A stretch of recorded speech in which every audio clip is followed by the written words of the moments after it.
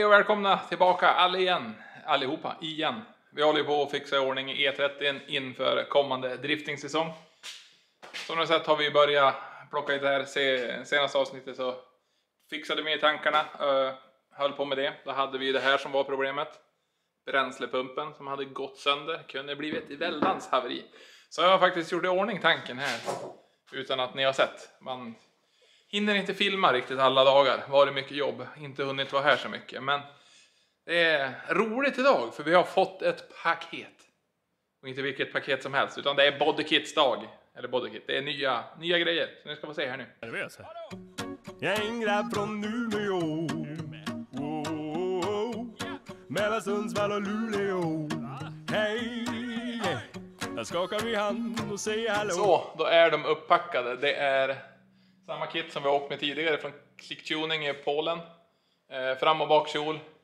Sen har vi fortfarande våra bäddningskit som vi har använt tidigare men Ja, vi tror vi kanske kommer att byta ut någon skärm men det är inte så där jätte Ja, vad heter? Jätteprioriterat just nu. Vi vill ju försöka få allting att bli bli bra allt det andra. Vi väntar ju fortfarande på delar men det har det är inget kul just nu. Vi väntar på mycket delar, mycket som står lite stilla. Men vi har ju börjat med diffen. Eh, ska hålla på och greja lite grann nu med, med sådana saker. Jag har ju fixat det bak, svetsat, dolat lite grann, det som håller på att spricka. Ska målas lite. Men sen har vi stött på trubbel.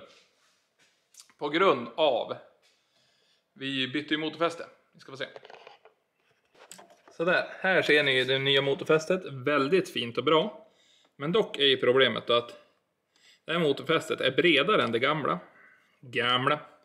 Och här satt ju våran eh, behållare för styrservovätska.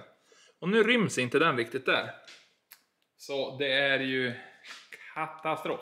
Eller katastrof och katastrof. Det går att göra en nödlösning och flytta upp den lite grann men det kommer inte bli bra. Så jag hittade ett bra, en bra grej som jag har beställt. Så nu har jag beställt grejer ifrån stora landet i väster. USA. Så det kommer grejer därifrån så att vi ska få ordning på det där så det blir väldigt fint. Sen vi var här förra gången så har det inte hänt så det är jättemycket. Jag har mest kört bil. Eh, vi var på rally. Kul. Så det känns lite tråkigt att jag inte riktigt är i fas. Det börjar få vara nära nu. Vi väntar fortfarande på en stor bit av pusslet som ska göra att vi ska ta oss framåt. Just nu ser den ju väldigt tråkig ut när det inte är några paneler och ingenting, men det är ju ett väldigt snabbt jobb för att få den tillbaka i ett körbart skick igen. Jo, dämparna är ju skickade på service i Tyskland på eh, KV, så de ska bli bra så vi får tillbaka justeringen. För vi insåg ju när vi började köra i förra sommaren att justeringen hade slutat funka på höger sida. Då hade vi inte tid att skicka in den, så vi körde utan justering. Så den stod där den stod. jag Vet inte ifall det var bra eller ifall det var dåligt, men det gick ju då att köra, hjälpligt i alla fall. Bärarmarna väntar vi också på saker till. Bussningar. Det är mycket vi har tagit isär som vi fortfarande väntar, väntar på saker till. Otroligt enerverande. Så, men jag ska försöka hitta på någonting att göra här i alla fall. Jag tror jag ska försöka få dit den här fina kevlarbränsleslangen som jag faktiskt har. Montera tillbaka den. Så vi ser att den går fritt förbi nya motorfästet. Vet inte riktigt vart jag var sist, men jag hade tänkt att vi skulle surra om Kjolpaketet är ju köpt från Klicktuning i alla fall. Lite så här aggressivare. Lite JDM-stuk. Gillar ju det stuket på grejer. Det är synd att man inte alltid kan hålla det så fräscht inom racingbiten. Men åh, bra grejer. Ska bli kul att se när allting blir nytt och fräscht igen. Det finns ju även här. Ny baklucka. Också väldigt nice. Sen därifrån skruvat så är det även en ny plåt som sitter mellan bakljusen. Men det jag hade tänkt försöka göra nu, för det finns ju olika sätt att göra det här på.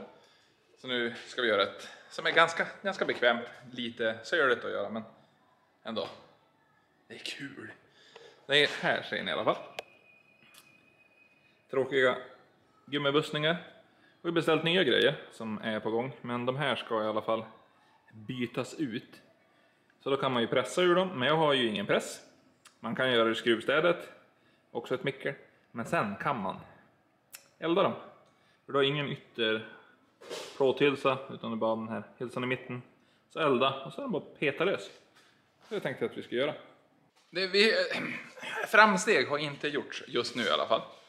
Eh, tog ut grejerna, skulle filma det, var lite för mörkt där. Så jag bara, ja men jag eldar. Stod och eldade. Eh, bussningarna fick alla att börja brinna lite grann.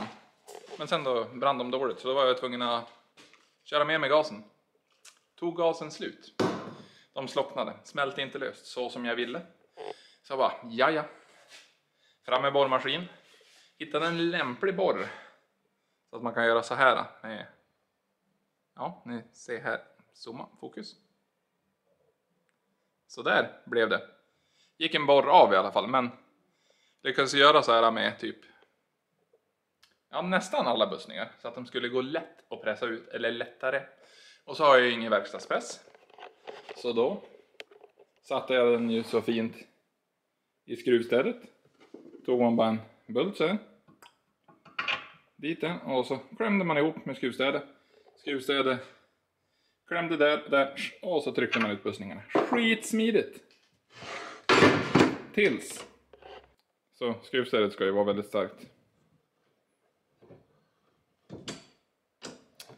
Det är gängfärs i skruvstädet. Gick inte ens speciellt tungt. Så. Framsteg har inte gjorts just nu. Lite, lite ledsamt. Så jag ska fara köpa en press och ett nytt skruvstäd. Någonting som jag inte ville göra så jättemycket. Men nu måste det tyvärr göras på grund av att det behöver vi få löst bussningarna och grejer är trasig. Sen en sämre stund just nu. Nu ska jag städa, försöka bli lite glad igen. Sen ska jag öppna paket. Man ska alltid ha ett paket att öppna för sådana här tillfällen. Så jag ska öppna ett paket, och se vad som är i det, men först ska jag städa. Inte telefon i Umeå Alla får vara med om du är god alla vara med om du är god.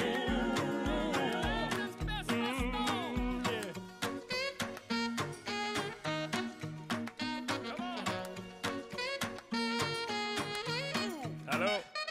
Det herrarna suger i fotboll och Löven aldrig går upp Så, fått öppna paket i alla fall. Och vad var det då? Jo, det är drivknutar och min favorit. Såna här. Det är ja, men damasken, det är drivknutarna. Men det är, tar ingen plats. Ingen stor flabbig grej som oftast går på lättare. Har också samma till mellanaxeln som är väldigt nice att ha. Jag trodde dock det skulle vara lock till dem också. Ska vi se ifall de bara har nalla ur en eller ifall det... Nej, det är så det är. De är utan lock. Så ska ni få se hur en knut ser ut också. Så, och de här knutarna har vi åkt med. Väldigt bra resultat. Tajta, fina, fungerar svinbra. Och samma till både mellanaxeln och till alla drivaxlar. Så köpte sex stycken så att vi kan byta ut allt så att det kan vara nice, tight och förhoppningsvis hålla bra i sommar. Men det är ju föga roligt med sådana här små paket när man är motgångar på bärarens historia. Men eh, fördelen där är att eh, jag har ju fortfarande inga bussningar så det är inte jätteakut till att lösa, lösa det. Men nu har vi i alla fall nya drivknutar, nya damasker. Skulle dock haft lock till de här också. Men jag trodde att det ingick, men det gjorde det inte. Men det sitter ju lock på de här gamla rackarna. Och de här nya ser ju då ut på det här viset. Att de, sådär, tajta och fina. Istället för att ha den här. Så du får fortfarande mer utrymme och mecka också. Så det är väldigt skönt. Eh, en av de här är ju katastrofdålig också. Men de här har jag haft större framgång med att det inte blir något läckage. Och det, det gillar vi. Tjena! Samlat lite ork det här sen ja, misären ni såg er tidigare. Så jag hade tänkt att jag ska ta tag i någonting nytt. Och det är ju renovera den här axeln. Den här mår ju lite jättedåligt. Så vi ska se ifall det är knuten som exploderar eller ifall det är axeln som har gått av. Förhoppningsvis är det knuten som har gått sönder. Så jag ska plocka isär det här och här. Det här är ju lite söligare så jag ska byta handskar till ett par i plast också. Ska jag plocka isär den här se hur den mår. Stoppa dit de nya knutarna som ni såg från Sällholm.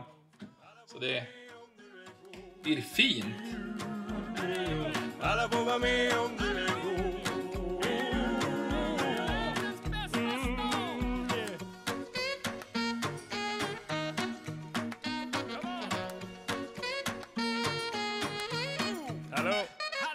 Herrarna suger i fotboll och Löven aldrig går upp. Knappt hundratusen bland låga husen. Vi ger aldrig upp. Nej, nej, nej, aldrig ge upp. Vi har ju brännbollsyran. Vad är det? Ja, det är det med det är VM i brännboll. VM? Vadå VM? Jo, men alltså det är ett gäng norrlänningar som går igång och... Ja, skit, skitsamma, du får läsa på internet. Det var inte knuten. Det här suger. För nu har vi en axel mindre.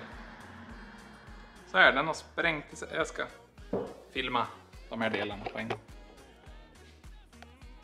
Här har ni delen som sitter i knuten. Det syns ju verkligen här att den har ju vridit sönder. Två bitar där. Och så axeln här. Som egentligen ser ut som att man ska kunna ja, men, jaga vildsvin eller någonting med den. Så var den väldigt oanvändbar drivaxel. Så nu är det bara att rädda den där knuten så att det får bli en reservknut och sen då är det här. Det här är ju det som är nackdelen när det börjar få bli väldigt mycket effekt, väldigt mycket fäste. För det här är ju Swickstars-axlar från PPF. De har ju hållit förvånansvärt bra. Eller förvånansvärt, de har hållit väldigt, väldigt bra. Men tyvärr så när det blir, det blir de här eh, clutch kicks grejerna och det blir så mycket moment på sakerna så tyvärr så man mattar ut dem till slut och så går de sönder så det är, det är så otroligt tråkigt och dyr utgift också. Mycket som kostar pengar nu, ja. Mm. Ja, hur som så. Det där är ju, det är ju, det är ju bara sopor det där. Så det är bara montera ihop en av de nya istället och eller nya, de är bättre begagnade. Jag har använt dem någon sväng. Jag har haft eh, dubbla uppsättningar så jag snabbt kan byta ifall man spränger en knut. Men nu var det inte knuten som gick sönder den här gången utan det var ju axeln. Ah, ja, jag har nog mycket elände för den här gången. Tack så mycket för att ni kollade. Älskar att ni köper merch. Jag är väldigt dålig på att göra reklam för merchen, men det finns på jimolofsson.se. Och tack så mycket för att ni kollade och prenumerera. Älskar er. Ha det bra. Hej!